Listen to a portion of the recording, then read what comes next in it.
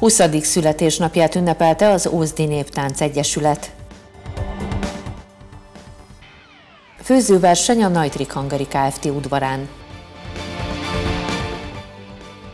Közel 70-en futottak fel a dombra.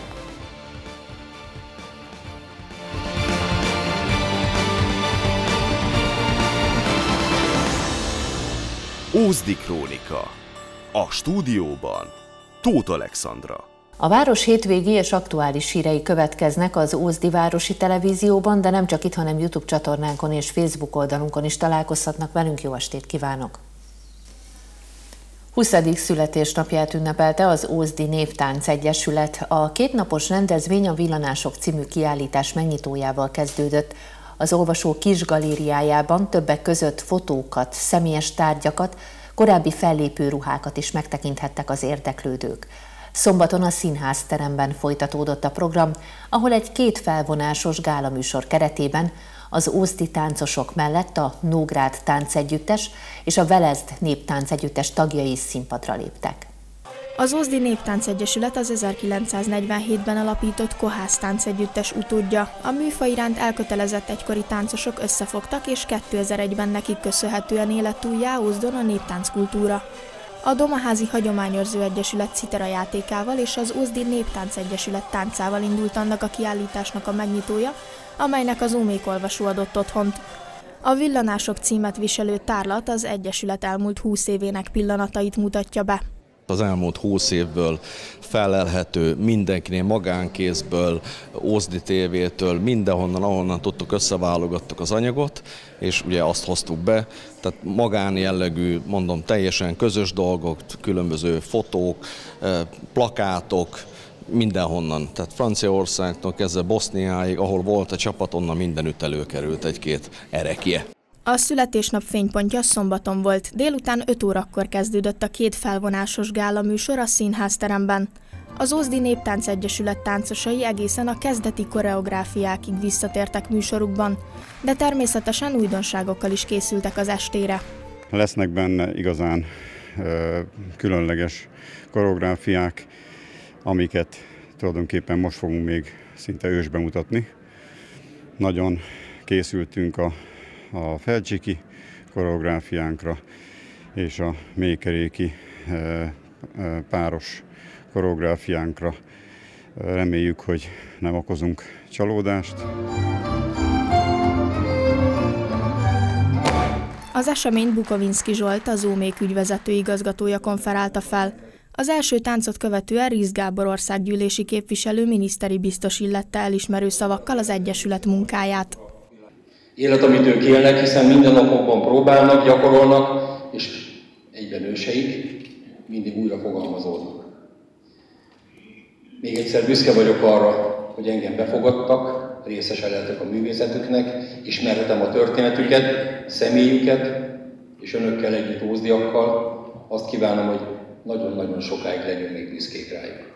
Janicsak Dávid köszöntő beszédében kitért arra, hogy a néptánc miért is lényeges a magyar emberek számára.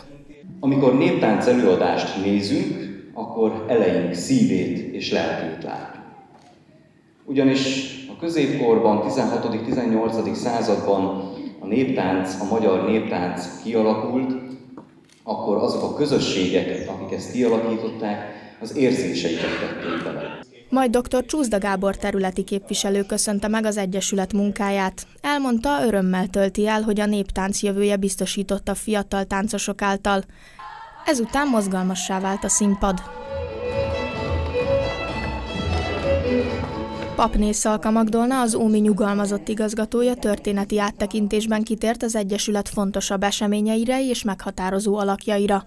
Az első felvonást egy rövid szünet követte, majd az est második felében a tánc került középpontba. A műsor változatosan összeállított koreográfiákból épült fel. Az ózdi táncosok mellett a Vadszilvák gyermek néptánc együttes, a Nógrád tánc együttes és a Velez néptánc együttes tagjai is színpadra léptek.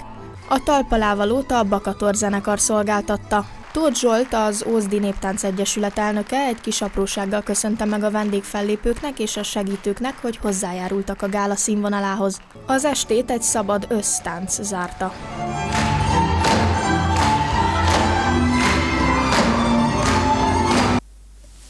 Úzdra látogatott dr. Harangozó Tamás országgyűlési képviselő, a Honvédelmi és Rendészeti Bizottság alelnöke. A civil ház előtti téren a június 9-i választásról beszélt, Elmondta, nem volt még olyan Magyarország történetében, hogy egyszerre lesz európai parlamenti és önkormányzati választás. A mostani helyzetet bonyolítja, hogy nem csak az önkormányzati képviselőkre és polgármesterekre kell voksolni, hanem a megyei közgyűlésre, illetve az európai parlamenti listára is.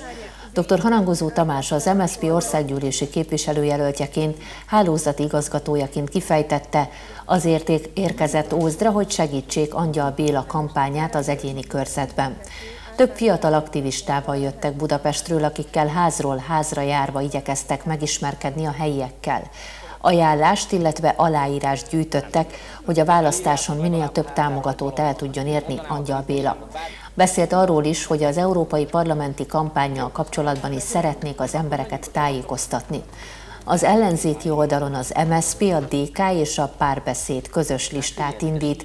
A Magyar Szocialista Párt idén január óta már aláírást is gyűjt. Olyan alternatívát szeretnének mutatni, amire érdemes lesz szavazni. Meggyőződésük, hogy ezzel a szövetséggel létrejön egy olyan lista az EP választáson, ami mandátumot és lehetőséget jelenthet a Fidesz mai világával szemben. Nagyon-nagyon fontosnak tartjuk, hogy itt Ózdon is a Fidesztől független civil szervezet, illetve az ellenzéki pártok támogatásával ez a városvezetés meg tudjon maradni, és egy szabad, egyébként a kormánytól független városvezetés maradhassa meg a következő öt évben is.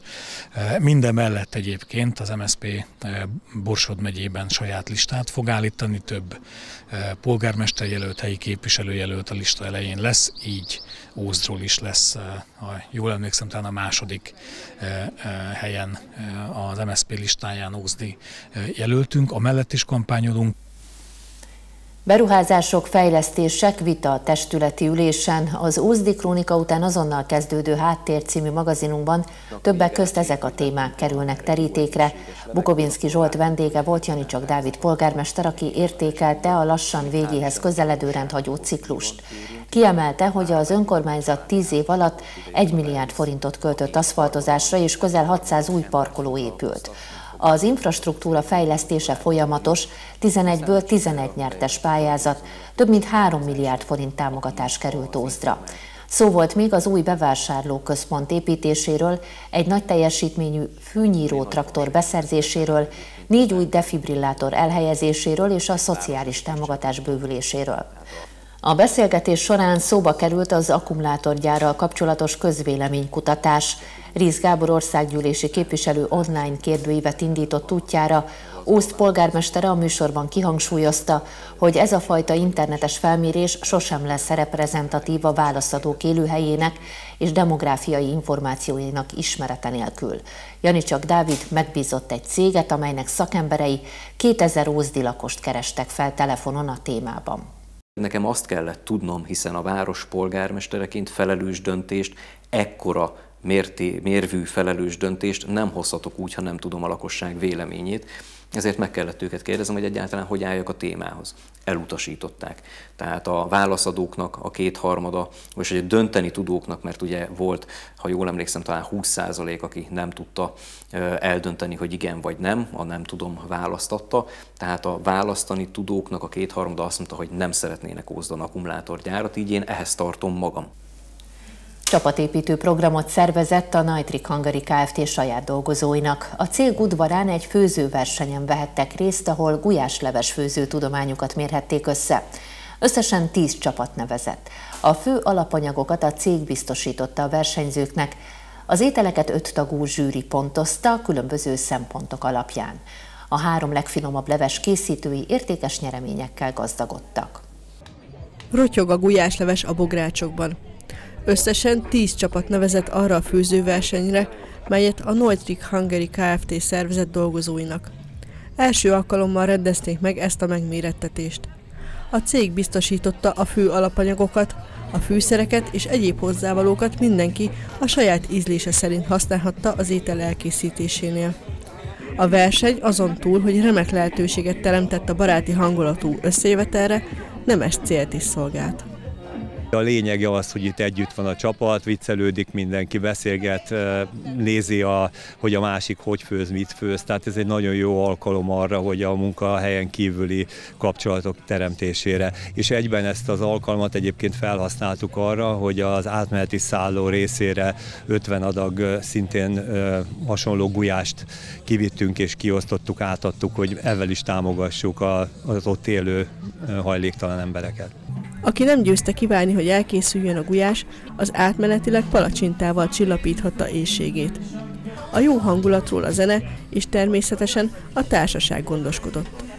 Babgulyást készítünk, ez az elsődleges szempont, és igazából nagyon jó az idő, hála az égnek, és nagyon jól érezzük magunkat. Tehát nagyon sokan idejöttek hozzánk kollégák, megostották az ételeinket, együtt ittunk igazából, tehát nagyon jó a hangulat, úgy nagyon jó közösség jött itt ezen a mai napon. Délmagasságában lassan elkészültek a bográcsosok, és megérkeztek a zsűri tagjai is. Tálalásnál számmal ellátott tálkákból kóstolhatták meg a gulyásleveseket, így nem tudhatták, melyik tálban melyik csapat főztje van. Különböző szempontok alapján pontozták az ételeket. A harmadik helyezett 10 ezer, a második pedig 25 ezer forint értékű utalványt vehetett át. A zsűri által legfinomabbnak ítélt gulyást készítő csapat 50 ezer forintos utalványjal lett gazdagabb. Remek érzés, hogy mi nyertünk, bár hihetetlen is, mert úgy álltunk hozzá, hogy szeretnénk ugyan nyerni, de az volt a fontos, hogy együtt lehetünk, meg ez egy csapatépítő tréningnek is felfogható, úgyhogy már csak ezért is érdemes volt eljönni. Ez meg, hogy mi nyertünk, hát felfoghatatlan, meg csodálatos érzés. Senki sem távozott azonban üres kézzel. A versenyen résztvevők egy gravírozott, a cég logójával ellátott fakanalat vihettek haza. És nem utolsó sorban az élményt, amely minden díjnál többet ér. Közel 70-en mérettették meg magukat a Kondi napok második állomásán. A domfutó versennyel folytatódott vasárnap a sportos próbák sora.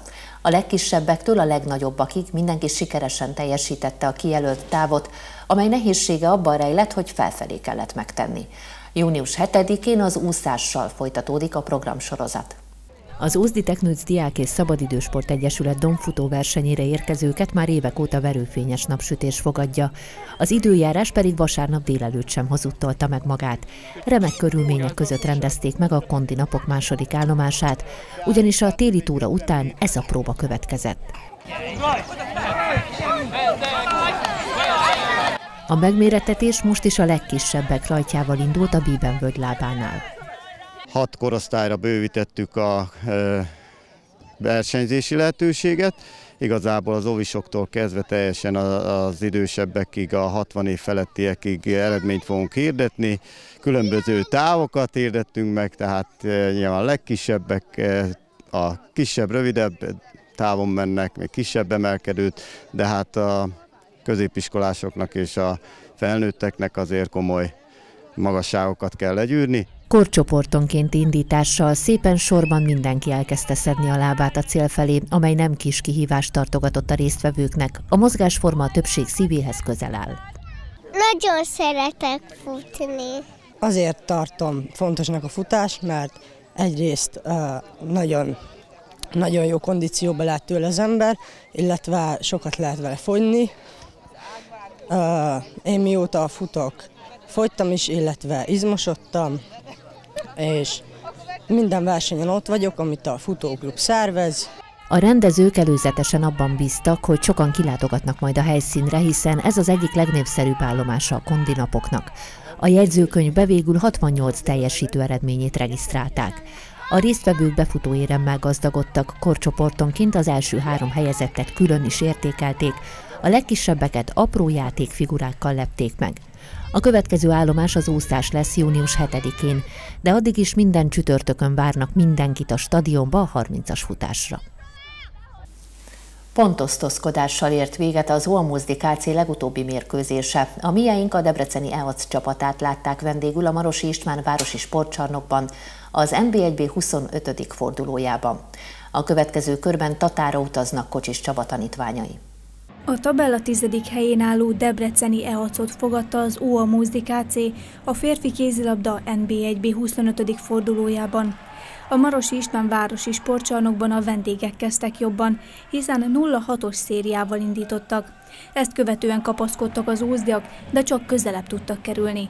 A szünetre 12-15-ös állással mentek a felek. A második játék részben is a cívis városiak domináltak, de Kocsis Csaba legénysége a rövid kispad ellenére is állta a sorat, így az utolsó percekre maradt a döntés. A csapat mentális erejét mutatja, hogy kitartottak és az utolsó másodpercben tudtak egyenlíteni. Végeredmény Óa Mózdi KC, Debreceni EAC 27-27.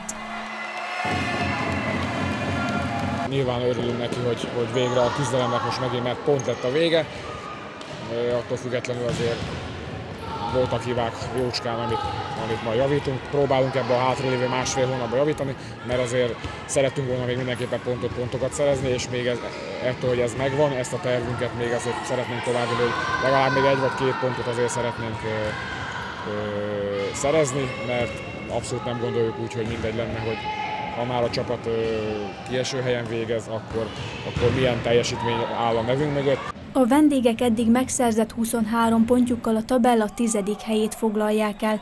Egyetemi csapatként igyekeznek felvenni a harcot az ellenfelekkel.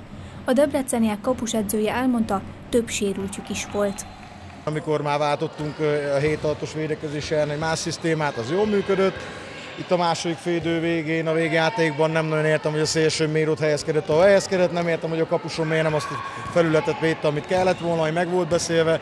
Tehát ez egy tanulság, nagyon sok a sérültünk, kevesen vagyunk, nyilván ebből a variációs lehetőségeink is csökkentek a belső pozíciókba, elfáradtunk, de azt gondolom, hogy mi uraltuk a mérkőzés, az Ósz meg örülhet ennek az egy pontnak, de előrébb nem lesz vele. Az OA Múzdikácia a sereghajtó pozícióból várja a folytatást. A következő körben a Tatai AC vendégeként lépnek majd pályára az NB1B 26. fordulójában.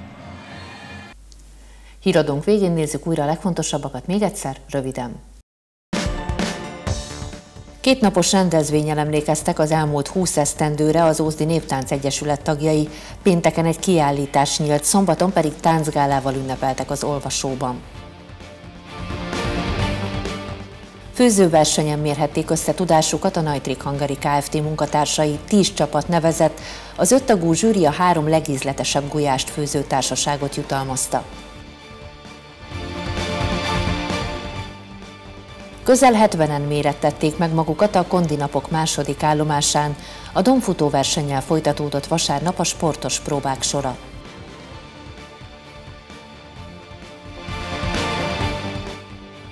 Pontosztozkodással ért véget az Olmozdikáci legutóbbi mérkőzése. A mieink a debreceni EAC csapatát látták vendégül a Marosi István városi sportcsarnokban.